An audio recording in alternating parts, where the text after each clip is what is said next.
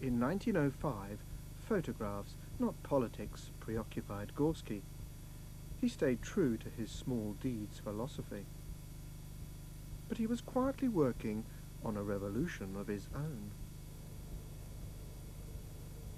By now, he had established a photographic workshop near St. Isaac's Cathedral. Here he was working on a new technique, pioneered in Europe, three-colour photography. Key to Gorsky's success was his expertise in chemistry. This enabled him to develop the right emulsions to coat on glass photographic plates. His ability to find the right chemical formula meant images could be captured and preserved.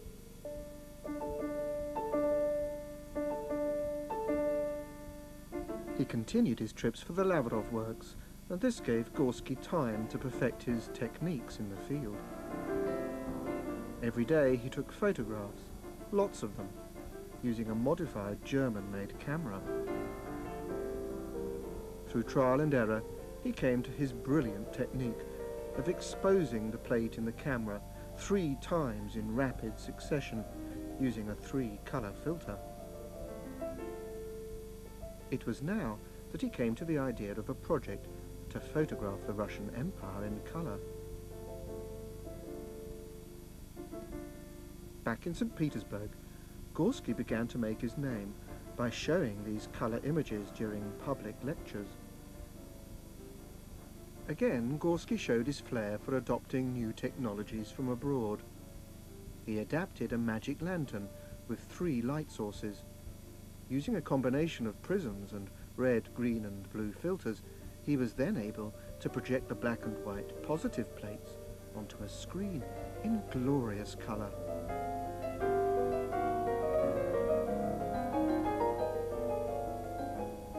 Gorsky wanted to make his pictures known throughout the Russian Empire, but for that he needed the support of rich and powerful backers. In 1908 he got his chance when he and friends organised a photography exhibition at the Academy of Arts. The show was attended by the Grand Duke Mikhail Alexandrovich, the brother of Nicholas II. He was impressed and invited Gorsky to show his pictures to the Tsar.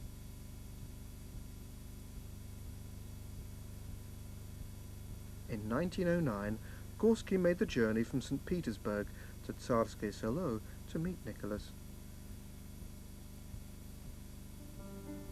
He knew it was to be the most important day of his life, and he prepared for it with consummate skill.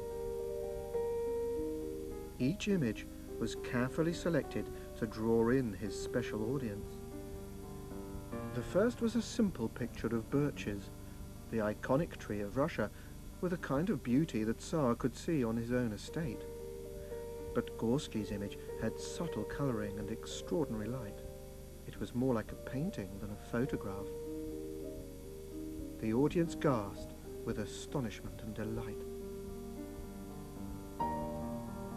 Then came an image of the Dmitrovsky Cathedral in Vladimir, a celebrated jewel of medieval church architecture, proof in bricks and mortar of the divine mission of the Holy Russian Tsar.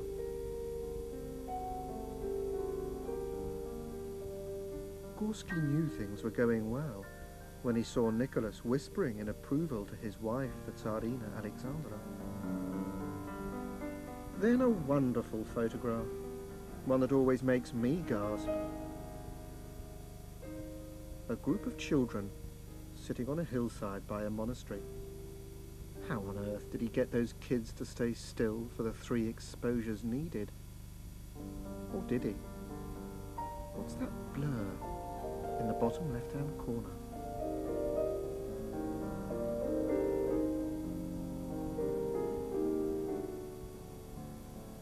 Nicholas asked Gorsky what he planned to do with his photographs. The photographer said that he wanted them to be seen by children in all the schools of the empire. Then, he said, they might appreciate the heritage of their glorious motherland. Nicholas was delighted, adding that he would be very pleased if children the same age as his son and heir, the Tsarevich Alexei, could learn about Russia this way. The Tsar was persuaded by Gorsky's patriotic purposes and gave his support to a series of journeys, sending the photographer as imperial explorer deep into the Russian Empire.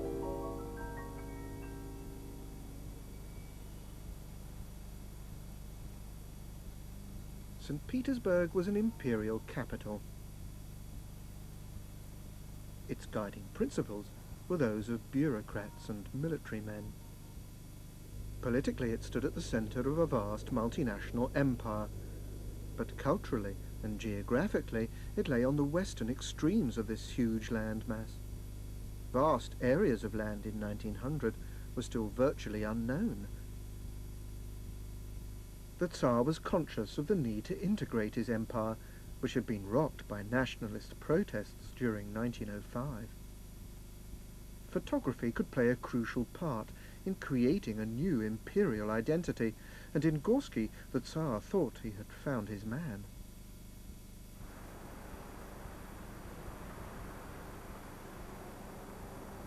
Gorsky was already an active member of the Imperial Geographical Society, which had been formed in 1862 to explore and map the unknown spaces of the Russian Empire. Information was the key to the empire's rule and unity. The Tsars built railways, canals, and telegraphs. The camera was an instant means of imperial appropriation. In this power game, to see and catalogue was to conquer. And here at the Imperial Geographical Society, there was a long tradition of photographer explorers who charted the new lands and peoples of the Tsar. In the library of the Society, Gorsky would have found the photographic albums of 19th century photographer explorers. These were portraits of ethnographic types, catering to a demand for exotic images from an unknown world beyond St. Petersburg.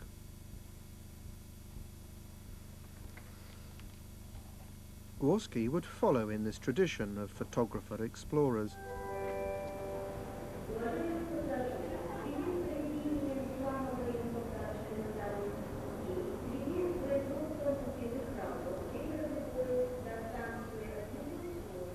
In the summer of 1909, Gorsky set off on his first assignment.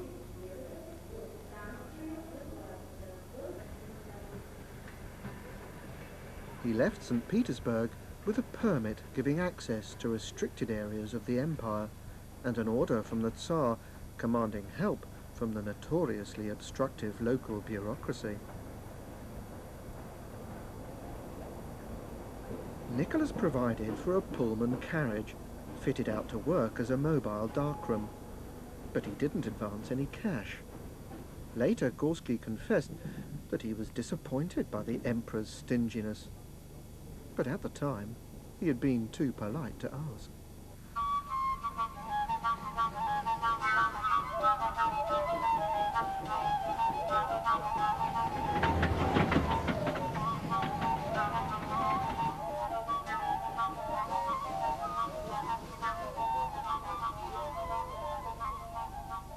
Travelled to the heart of old Russia.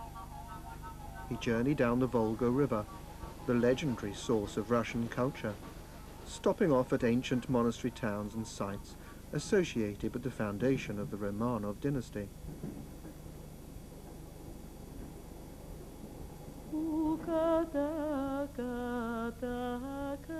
He brought back photographs to show Nicholas at Tsarskoye Selo.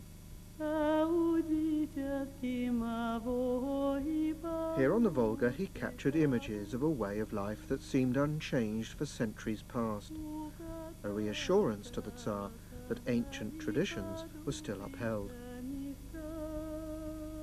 A peasant woman, modest and respectful.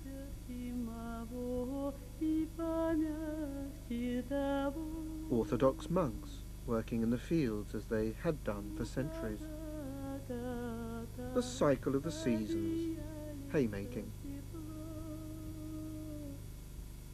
This man was Pinchas Karlinsky, 80 at the time of this photograph. He would have been old enough to have fought in the Crimean War of the 1850s. 60 years of service to the state as supervisor of the Chernigov floodgate, Pinker stood as an example of loyalty to the Tsar. And images for Nicholas of Holy Russia and the sacred institution at the spiritual heart of the nation, the Orthodox Church.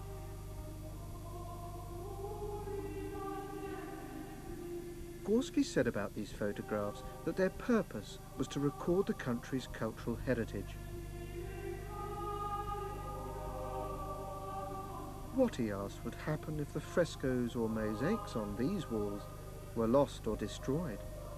We would never know what colour they had been.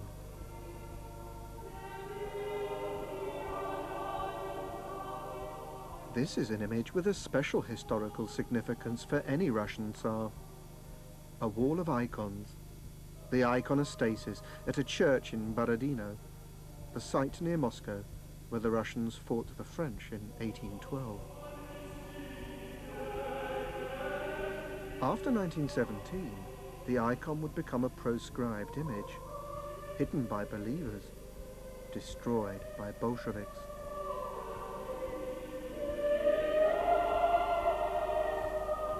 the monastery of the Transfiguration on Solovetsky Island, whose hermits were revered by the Romanovs.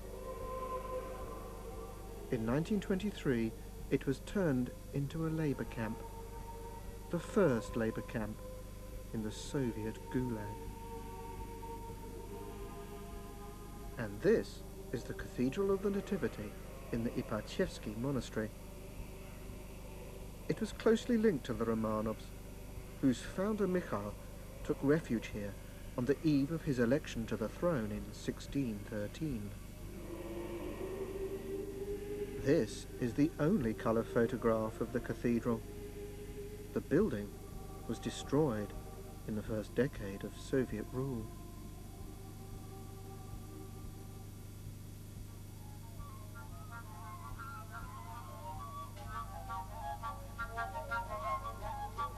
Gorsky travelled thousands of miles further into the empire, well beyond the heartlands of old Russia. These were newly conquered lands. He journeyed south to the Caucasus, which had not been fully mastered, if they ever were at all, until the 1860s.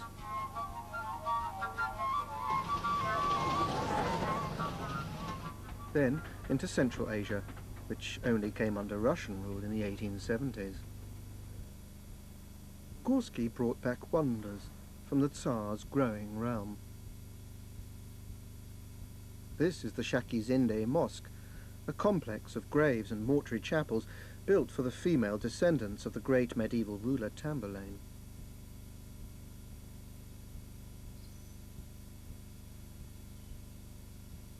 Gorsky followed in the photographic tradition of imperial explorers who travelled with the Tsar's victorious armies. But it seems to me his photographs are not just of ethnographic types. They are tender, humane portraits of individuals. Couple from Dagestan.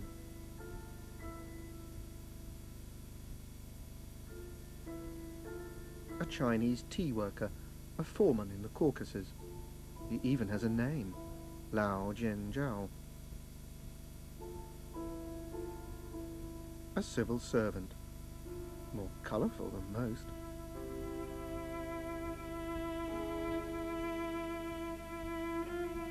The Tsar saw his multinational empire in terms of a strict racial hierarchy. But Gorsky seems to celebrate the racial intermingling taking place. This is a photograph of Russian settlers in the Caucasus. I think they might have been members of a religious sect, the Doukhobors, driven out of Russia by the Orthodox Church. A group of Jewish children with their teacher in Samarkand. Whereas the Tsar placed the Jews at the bottom of the imperial pile, he never hid his hatred of the Jews. Gorsky pictured them with dignity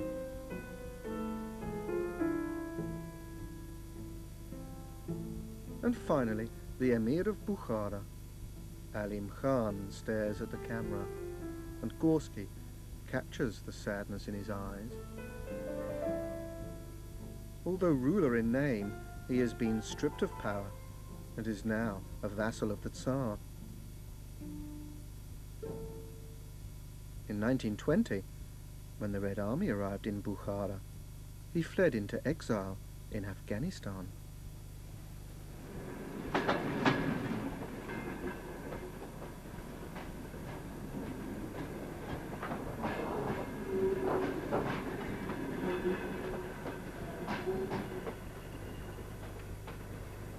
Travelling through the empire, Gorsky found a country in the midst of rapid social change.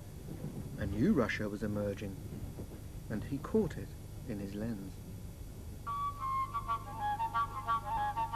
The mass commercial culture of the towns was brought by the railways to the countryside, transforming villages which only a generation before had been cut off from the wider world.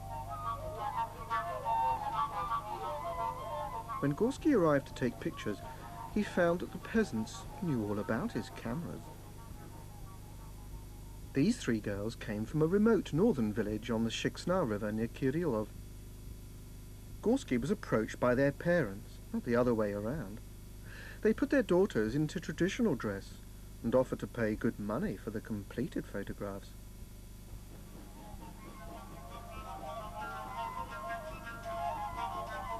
Gorsky travelled to the industrial frontier of the new Russia in the Ural Mountains. He journeyed on the newly completed Trans-Siberian Railway. 6,000 miles of steel and iron linking European Russia to the far east of the empire.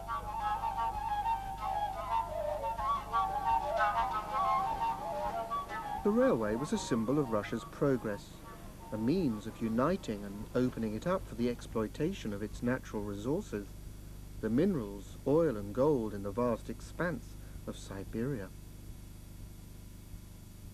Wherever he stopped, Gorsky took photographs. A view of a massive stone and iron rail bridge across the Kama River near Perm in the Urals. A switchman by the railway line from Ufa to Chelyabinsk.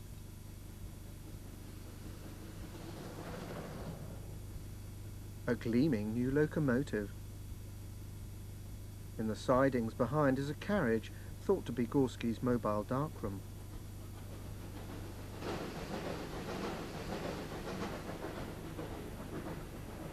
Moving east from the Urals, he photographed the frontier mining towns, like this one Tobolsk. In Gorsky's lifetime, millions of peasants from European Russia were migrating to towns like this.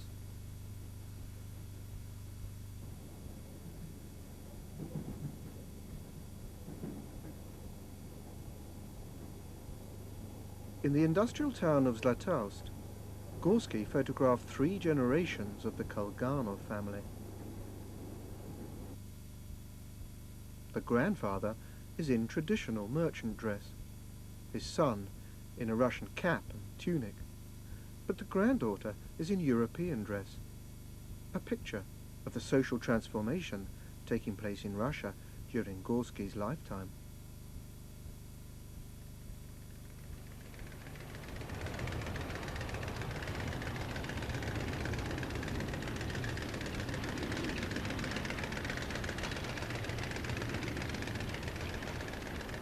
With his own experience at the Lavrov Foundry Works, Gorsky surely recognized that industry and technology were Russia's future.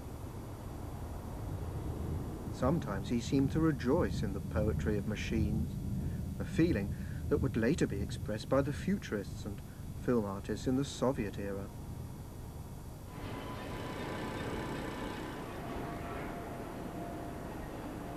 But Gorsky also knew the costs of Russia's industrial revolution. Many of the peasants Gorsky photographed ended up in factories like this. Peasant handicrafts and manual methods were transplanted straight into the factory environment. But meanwhile, in the village, these old crafts were dying out as cheaper manufactures brought in by the railways took their place at country fairs. In this picture of a peasant woman spinning yarn, there is, I think, a sense of loss. Gorsky photographed these dying crafts. I think he felt a need to catalogue and capture through his art a Russia which he feared was about to pass away.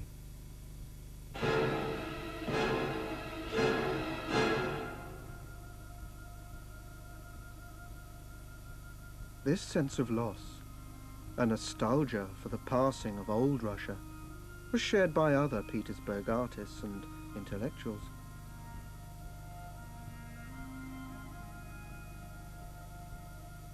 After the 1905 revolution, there was a growing expectation of apocalypse, a sense that St. Petersburg had had its time, that another, more violent revolution was about to sweep away this civilization.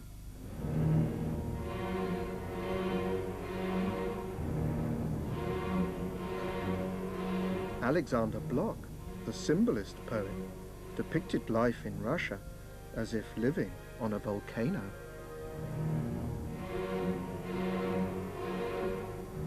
Я вижу над Русью далече широкий и тихий пожар. And over Russia I see a quiet, far-spreading fire consume all.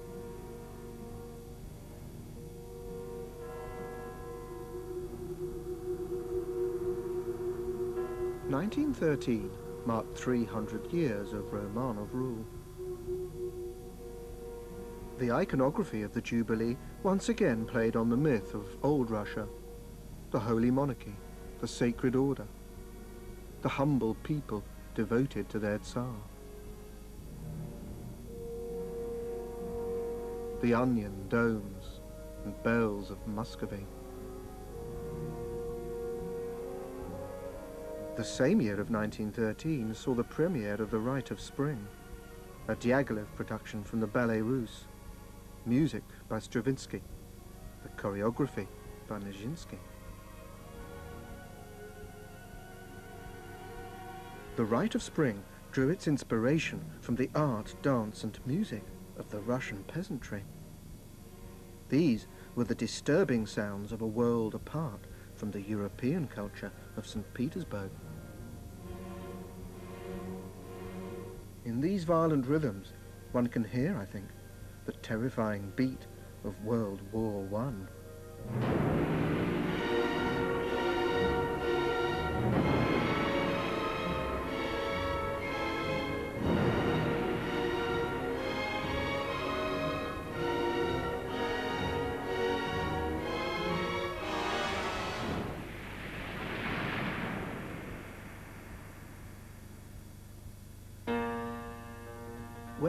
Against Germany began in 1914, Nicholas ordered that St. Petersburg should be known by a Russian name, Petrograd.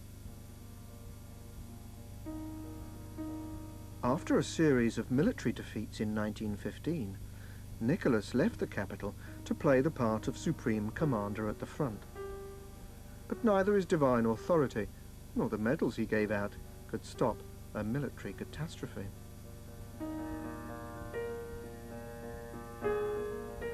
Gorsky's eldest son, Dmitri, was fighting for the Tsar. Gorsky himself worked for the Imperial War Ministry, censoring films, teaching pilots how to take photographs, and working away at new photographic advances for the motherland. There was one last trip, travelling north from St. Petersburg, an assignment to photograph the new railway link to the port of Murmansk. During the journey, he posed for a self-portrait. Gorsky, wistful and reflective.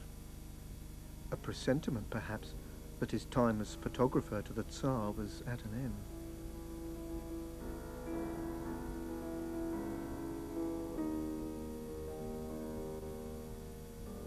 There would be no more slideshows after dinner at Tsarskoye Selo. The February Revolution of 1917 came at the end of the third winter of the war, born of cold and hunger.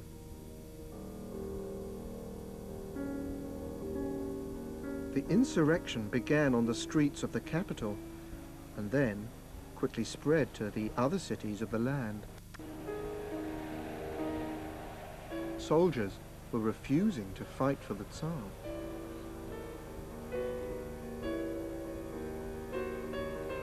With the whole structure of Tsarist power collapsing, Nicholas's generals urged him to step down. The Tsar's abdication was met with fear by some, but for others there was joy and expectation that Russia could now arise. This was seen as a national revolution, a popular revolt against the dynasty. Even the peasants, of whom it had been said that they could not live without the Holy Tsar, found cause to celebrate when they discovered that in fact they could survive without him. They now came home from the war for peace and land reform. At the Alexander Palace at Tsarskoye Selo, Nicholas was placed under house arrest. What had been a playground was now a prison.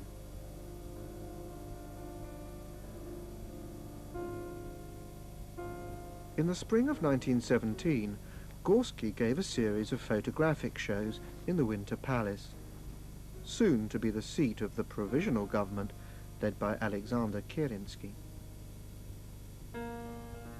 Gorsky called his presentation The Wonders of Photography. The title seems almost surreal against the backdrop of political events.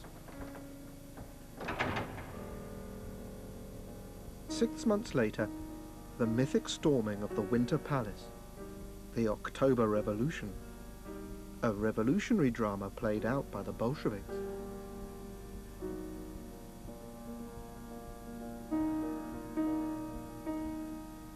In the spring of 1918, the capital was transferred from Petrograd to Moscow, the city that faced not Europe but the East.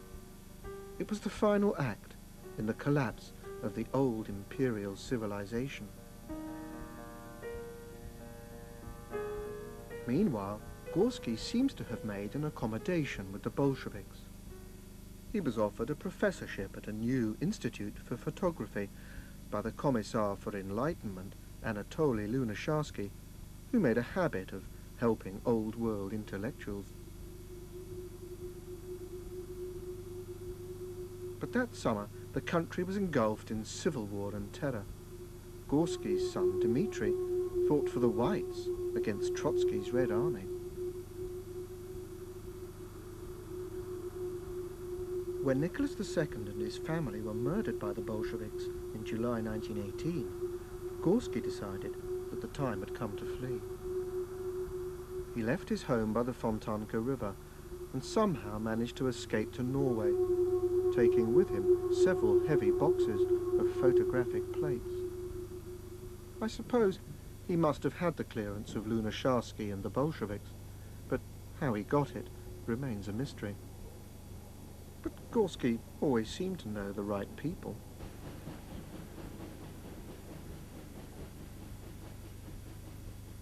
From Norway, he went to England, and then on to Paris.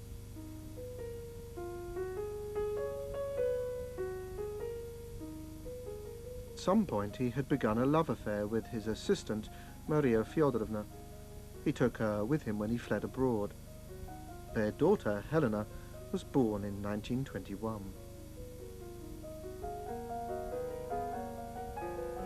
His first wife and children joined him in Paris in 1924. The two families settling down in an uneasy coexistence together in this place of exile for so many Russians. Gorsky set up a photographic firm in the Rue d'Alésia. But once he went into exile, he took no more photographs of note. Russia had been his muse, the Russia he had lost. Gorsky died at the age of 81 in September 1944.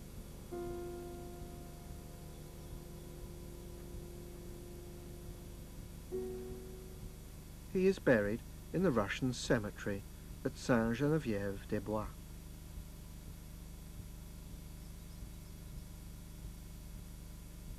Today, his photographs are found in the Library of Congress in Washington. They have been digitally restored to their original glory and are now available online. Gorsky has surpassed his wildest ambition, not just a national, but a worldwide audience.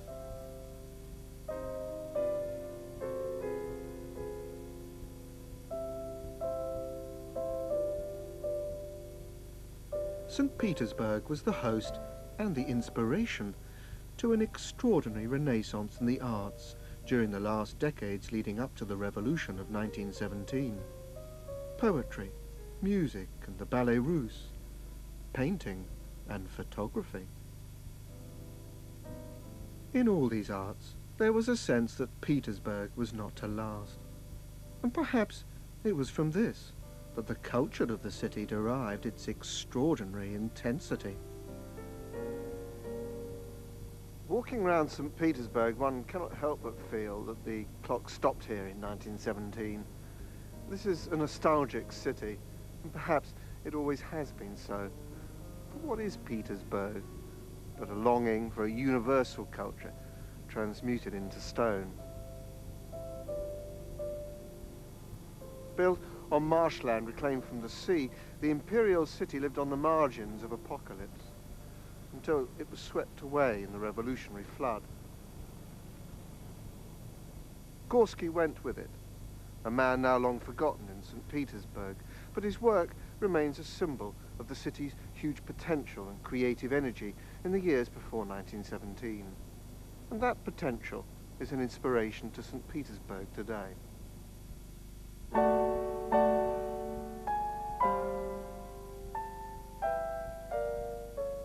Tomorrow on BBC Four, another chance to see Samuel West as Lord Macaulay, the first of our historians of genius, telling the story of the Monmouth Revolution at 10.